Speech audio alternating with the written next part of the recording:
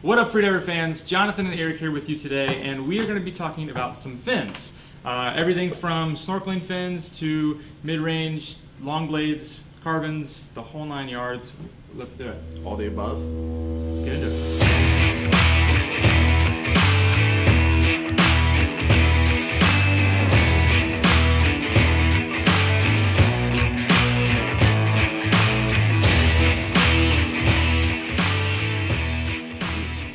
All right, so first thing I want to tell you guys about is the SEAC Fuga.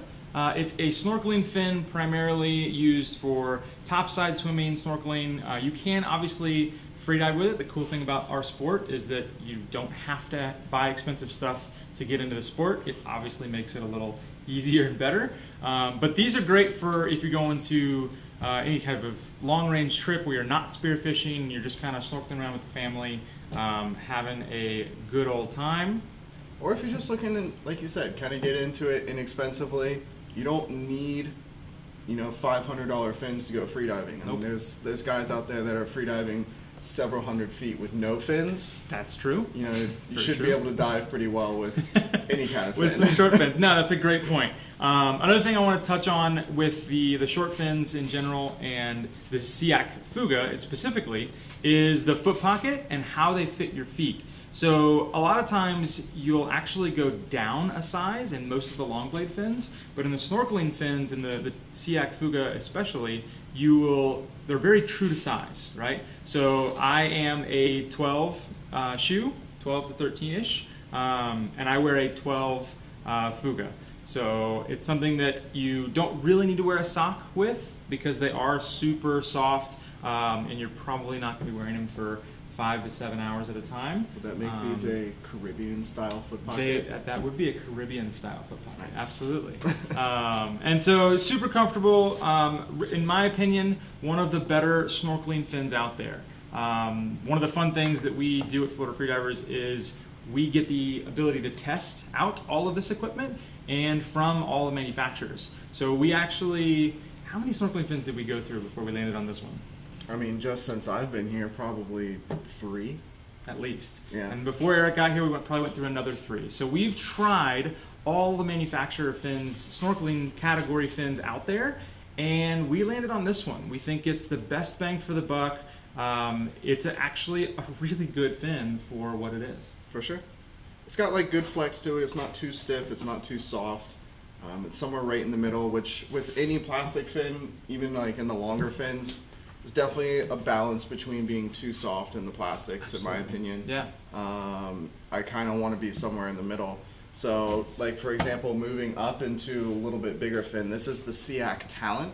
Also, another great kind of more of an intermediate fin, somewhere in between a snorkeling fin, somewhere in between a freediving fin, but definitely a little bit stiffer setup. so Mhm, this for is going to be a fin that's going to be probably better suited to lobstering, maybe shallow shallower water lobster, spearfishing, shallow that kind spearfishing, of for sure. Um, just because it is definitely a stiffer fin, it's going to offer a little bit more power, but particularly with any plastic blade, as you get into a little bit stiffer setup, you actually gain a little bit more efficiency in a stiffer plastic fin versus a softer plastic fin. And fin. especially a short, stiff plastic fin, right? Exactly. If you go for too long of a stiff plastic fin, well, now you're losing efficiency because you can't muscle it, Exactly. right? Um, and the reason I say that, generally, like as you get into composites like these carbon fiber fins behind us, you want to go towards a softer setup. Um, but with the plastics, if you get too soft, they just become like a little Wet noodle. flopping around in the water. absolutely. Um, absolutely. which yeah, Doesn't we work. could go somewhere It else with doesn't, that. it doesn't Um, work. no, so having that stiffer plastic is going to allow that, that fin to actually give you a little bit of propulsion and in turn efficiency as well. But there is a trade off there. You go For sure. As you go stiffer, it's also going to be harder to kick. Yeah. So with the SEAC Talent, which is this one specifically that we're looking at, um, as Eric mentioned, it's a little bit stiffer of a blade, great for that shallow water lobster or shallow water spearfishing. Um, the foot pocket is the same category as the Fuga in the sense that they fit very true to size, right? Also extremely soft, so you don't really need to wear a sock.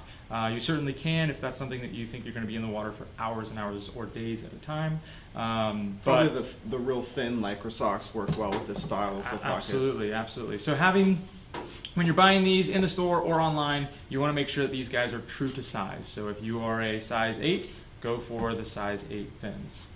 All right, so moving up into some of the actual long fin style fins, we have some of the Cressi Garas here. Now, Cressi makes a couple different models of the Garas. Um, the two that we carry, it's the two that we like the most, we find to be some of the more popular options.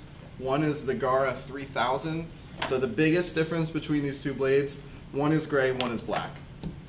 There you go. There's the differences.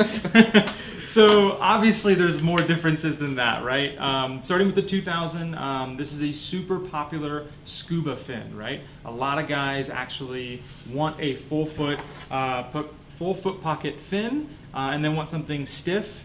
This is the fin for the scuba spear fisherman as far as using that style of free dive fin. Um, the thing that's different about it is the blade itself is actually shorter than most of your other long blades that are out there. So that's kind of an interesting fact, but it is super stiff. I mean, these guys will wear you out if you're not ready for them. Um, but if you are used to stiff fins, then these guys definitely will get the job done.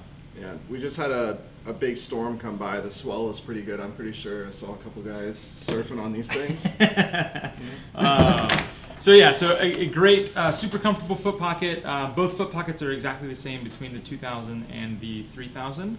Um, and these guys also fit very true to size. So again, if you're a size 7, you should get the size 7 foot pockets, right? Um, but with the 3000, it's going to be a little bit softer uh, than the 2000, and I'll let you talk a little bit about the 3000. Sure. So the 3000 Gara is actually one of my favorite plastic fins, which is interesting because it's actually one of the lower price point fins mm-hmm. out there too. They're super affordable, and the reason I still like them so much is the stiffness.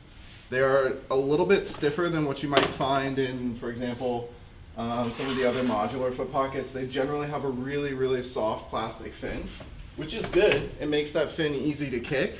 Um, however, with the plastic blade, because it doesn't have that snap or that pop that like a, a full composite fin has, um, you lose a little bit of efficiency as you go with the softer fin. For sure. So I find that these Gara 3000s are like a really good balance of stiffness with not being real soft and not being too stiff. Like the 2000 is not necessarily an ideal freediving fin um, because it is definitely on the stiff, side. Yeah. A lot of people love the stiffness and they, sure, want that power, sure. but for an efficiency standpoint, the 3000 is, is hard to beat, man, for a plastic fin. Yeah. It's an amazing price point and it's super effective. Absolutely. And they actually have this guy right here on the back, this black piece, this black molded in plastic piece, that's actually to help it with its rigidity, right? So it gives it a little bit more strength when you're bending that fin. But the cool thing is, is that it doesn't actually compromise the, uh, the bend, right? So a lot of fins that you'll see out there, when you bend them, they only bend kind of halfway, uh, which in reality means that you're not using the full length of the fin. Mm. But even with this stability part in the back,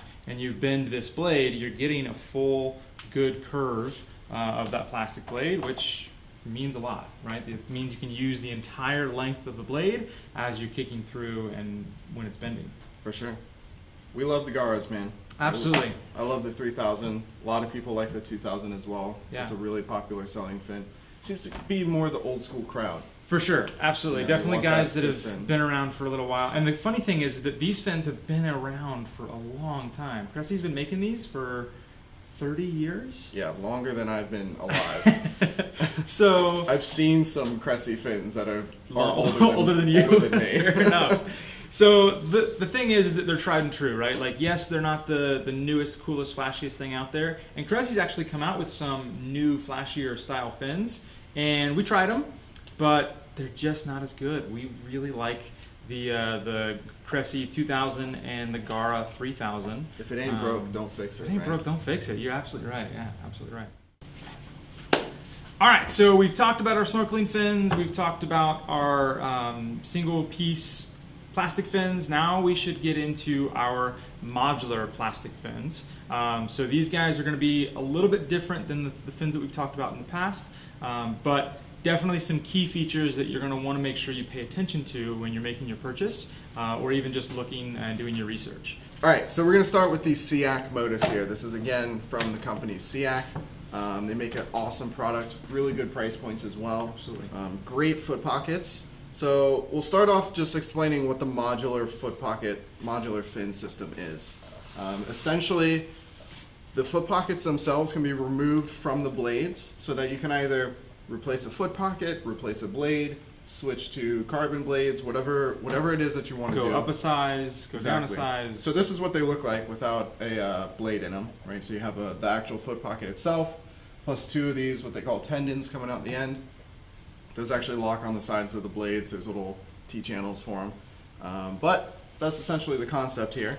Gives you a little bit more versatility. If you do, you know, damage a foot pocket or a blade, you have the ability to replace just the one part um, or upgrade in the future. You can start off in, you know, in a lower price point with the plastic blades, and then if you ever decide to upgrade, you already have the foot pockets, which the foot pockets are A big deal. majority of the cost of like this fin. Oh, right? absolutely. So that's what I find to be the best reason why to buy a modular fin versus really any other type of fin, right? Because now I can, as you said, I can jump into a you know $150, $140 pair of fins or $160 pair of fins and have the ability in two months, two years, 10 years to replace this plastic blade with some of these high-end blades behind us, right? So now, instead of me having to buy a whole new set of fins every time I want to upgrade or change or do anything different, I now have the option to keep my exact same comfortable foot pocket that I've taken the time to break in and make nice uh, and perfect for me, and I don't have to buy a new one, right? I can keep that same one and change blades. I can't tell you how many blades I've changed back and forth just trying out different manufacturers, different Mm. stiffnesses, and kept the exact same pockets because I know they fit my feet and I know how they how they work. You just hot swap them. Hot swap. I'm just going from fin to fin.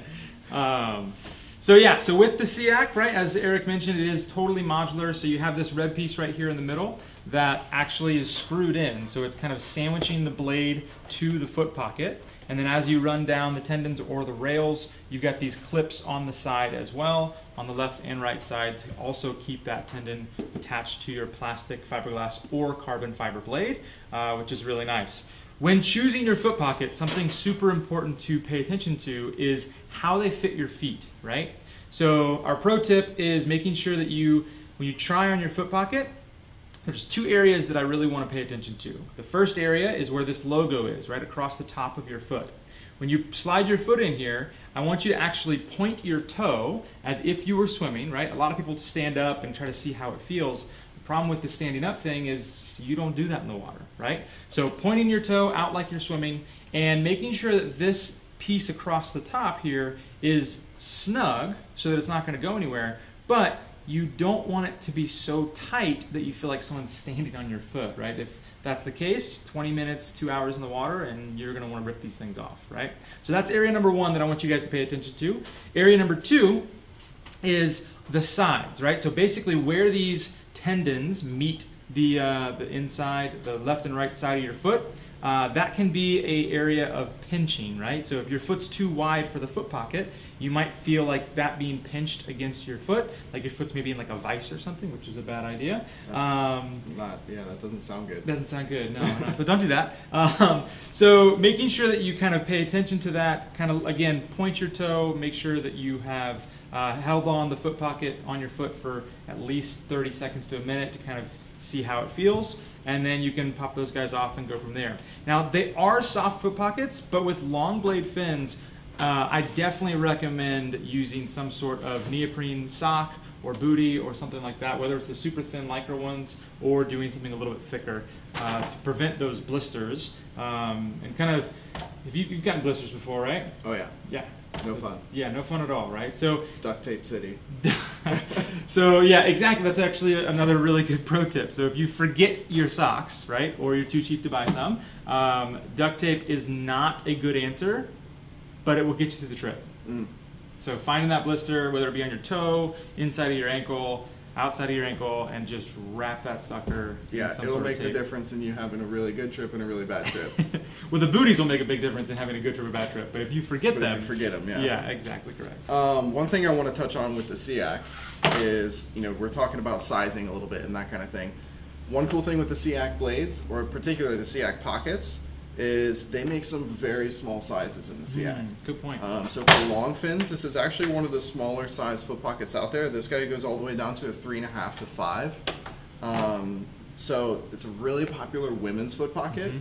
Um, and also for younger kids that are, you know, getting, into into, the their first absolutely. first set of long fins. So that's one cool thing with the SEAC. They also make generally their pockets are going to be a little bit narrower, yeah. than some of the other ones.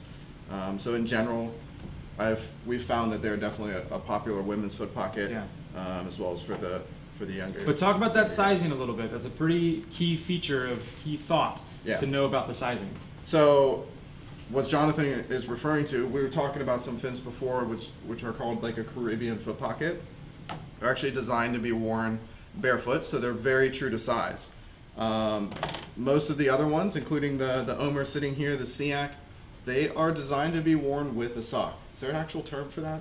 I don't think so. It's just a cold water, right? Cold so water. most of these manufacturers they manufacture their products to fit with a five millimeter sock, which right? is pretty.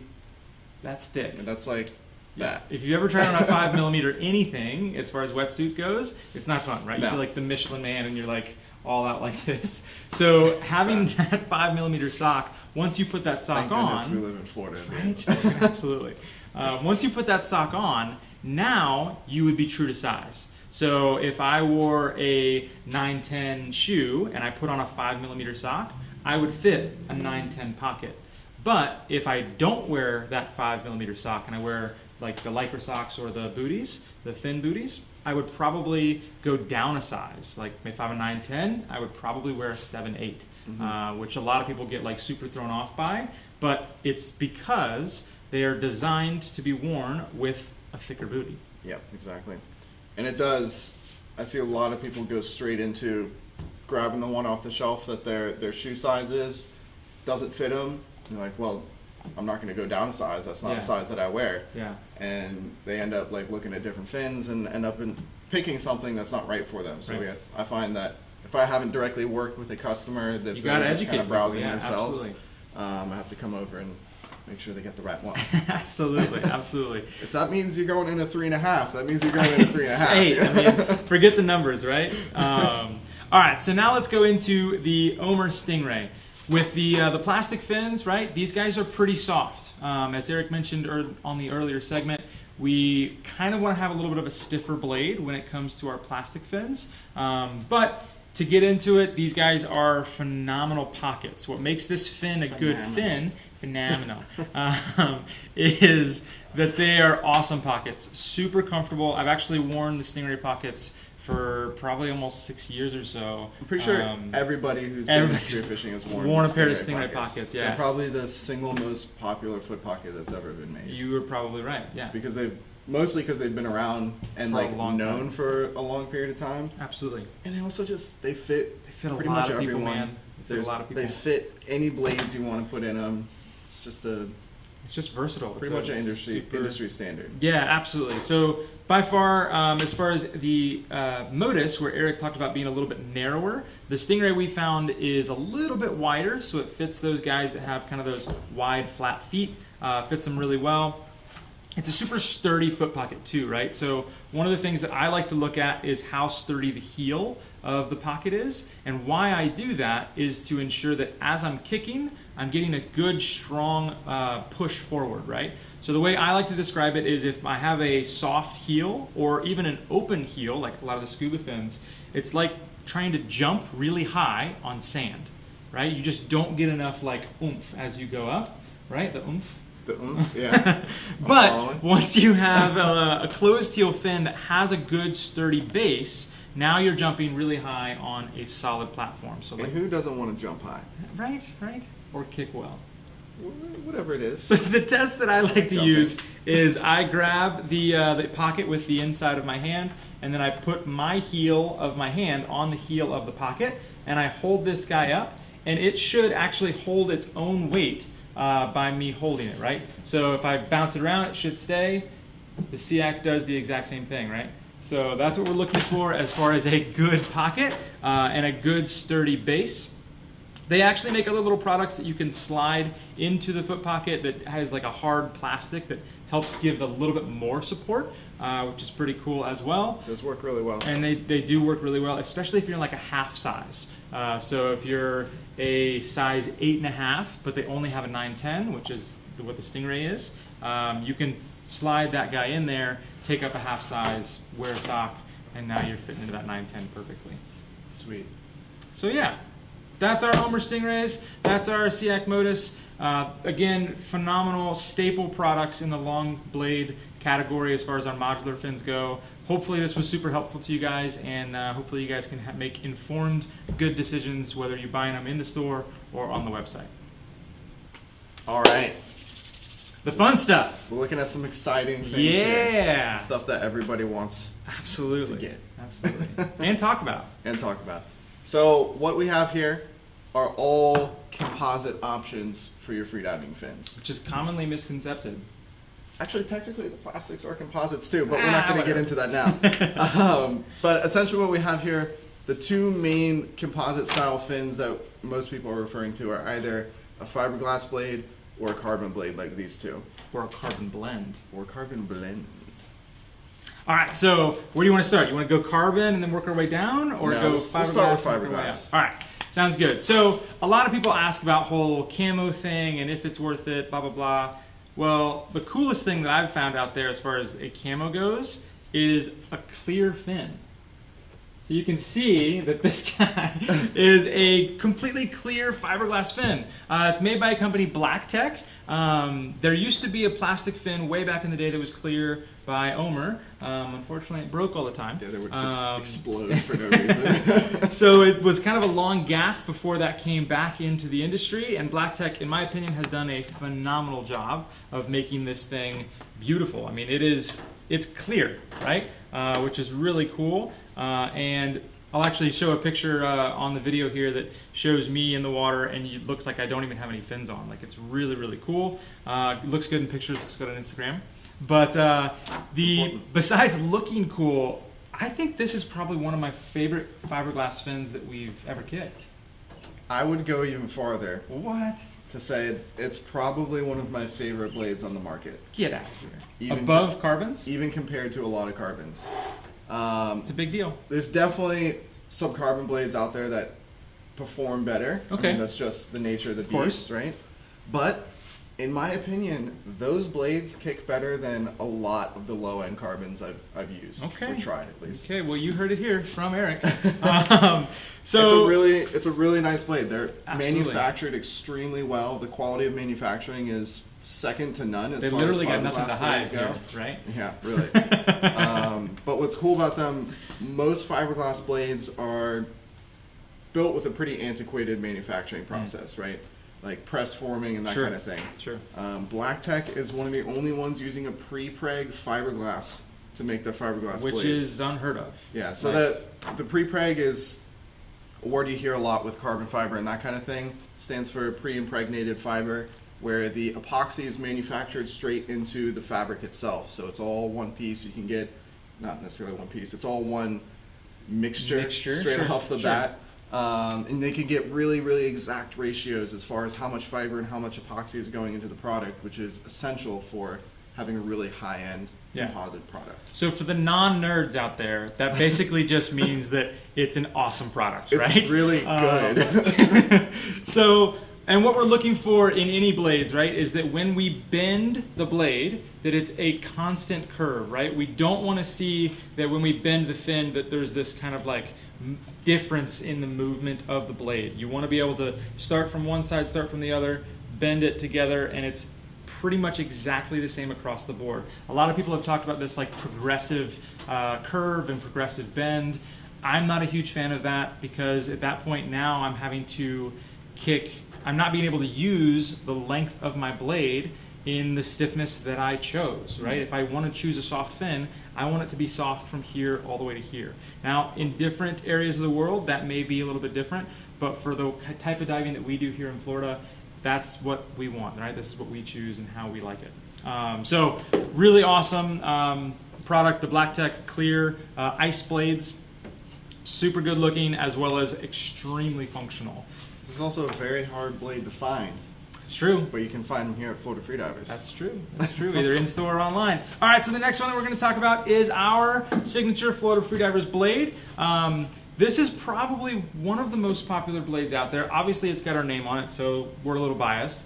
But by far, I would say one of the toughest blades out there. very tough, and that's kind of the nature of fiberglass as well. It's a super durable material, handles impact really well, handles you know pressure very well, like tensile strength, all that is really really nice on on fiberglass. So you can beat crap out of these things. You can beat the crap out of these things. So, like, just kind of to give you a show.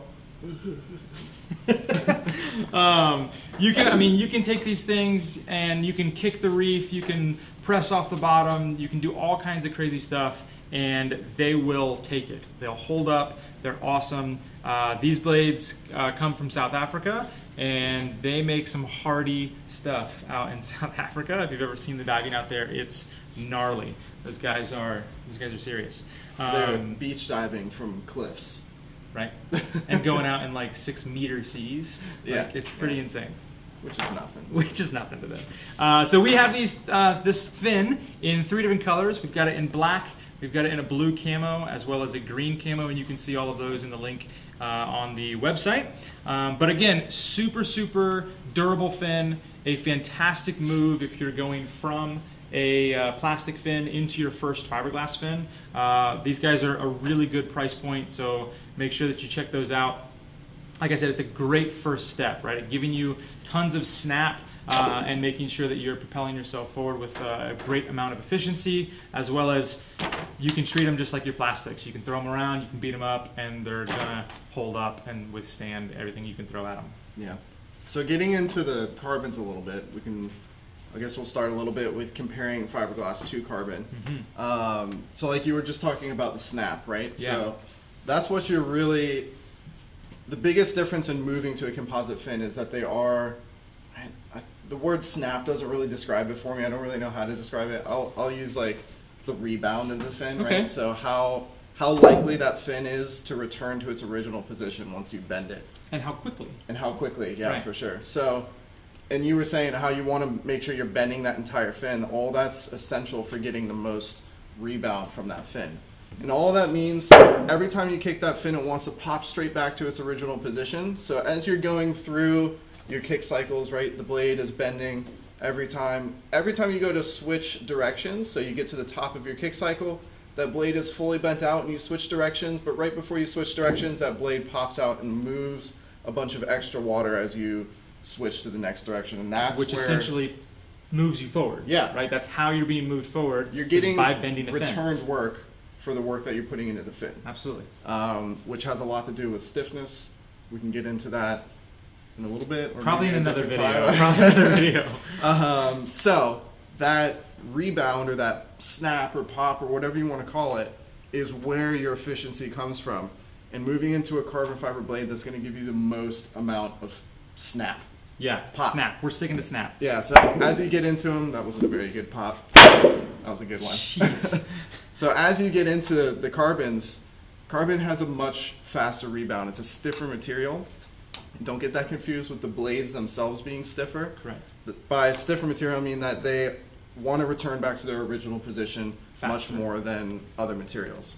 Um, so, like for example, these Moana carbons, which are probably one of my favorite blades One of right our now. favorites, yeah, in the industry. Yeah, they make a phenomenal product. Really, really high-end carbon, really high-end manufacturing process, But not a high end price. but not a super high-end price. Which I mean, they're they're not They're expensive cheap. for sure, but it's when you compare the Moanas by Headhunter by all the other carbons that are out there. These guys are a phenomenal product, and I've used the word phenomenal like three times now. Um, but it's a great, great product for an awesome price if you're looking to get into carbons. Yeah, for what you're getting versus some of the other, I hate to call them lower end products, but the, at the end of the day, there are definitely some lower end products out there. Um, for what you're getting in comparison, it's it's a no brainer. It's a no comparison. Yeah. yeah, absolutely. Um, and that kind of leads us into the next one, which Yeah, is absolutely. a pretty unique product from Divar. So Innegra is just a completely different material from carbon. Um, essentially, it's similar to fiberglass in that it has extremely high impact resistance. Um, so basically what that means is you're getting a performance similar to fiberglass out of the Innegra, which is why they blend it with carbon so you can get that carbon performance. So Mm-hmm. you get the pop of the carbon, but the impact resistance of that Innegra material. Absolutely. So Innegra is just they use and it to build whitewater stronger- kayaks. like- Stronger than fiberglass. oh, yo, much stronger. Yeah, exactly. So I just want to make sure that I make that distinction, right? That a Negra is going to be stronger than fiberglass. So you take a material that's stronger than fiberglass that you can beat up and keep going, and mix it with a performance enhanced carbon fiber. Now we're talking about like the ultimate fin that you can take a traditional, you know, carbon fin. You would probably be super scared to do something like this to, Mhm. and Yeah, yeah. you can it's my shop i can do what i want and you can bend the heck out of these fins and they do the work right which is really really cool divar makes some awesome products and really excited about them having this Innegra carbon blend uh, i've been kicking these for a little while now uh, in the mix of all my other fins Yeah. and uh, i keep coming back to these i really really like the divar Innegras uh, a lot they do a good job They definitely have a unique feel. It's a very unique It is product. definitely different kick you're absolutely right There's nothing else on the market like these, which is pretty cool in my opinion. it's really cool yeah and the Negra in itself, like when I when I first heard about these blades, I had no idea what a Negra was, and I started doing a bunch of research on Of a Negra. Yeah. It is a pretty incredible product. It's Do you think we'll see more of the Innegra throughout the dive industry? um maybe maybe in some like custom stuff. which is the- it's very the expensive. I don't think we're going to see much of it aside from what Divar makes. Interesting. Yeah. Cool. All right, guys, thank you so much for watching. We are super excited to have all of this information presented to you guys. Um, it's a ton of stuff. Hopefully, it teaches you something and gives you a uh, better purchase, a better education. And um, hopefully, you guys can like and subscribe to our channel and watch this video. Um, we'll leave some comments below talking to our resident nerd, Eric, Mm. on the, uh, the gear that you nerd out on the most, right? Yeah. Let me know your thoughts on composites. Ooh, all right, that's gonna be a big one. Yeah. Uh, so for our promo code today, we're going to be giving you guys a discount on our Florida Freediver blades. And what's our coupon code gonna be? Phenomenal. Fin nominal? Fin. Oh man, all right, phenomenal it is. So um, we look forward to uh, again hearing you guys' comments, and uh, again we'll see you next time.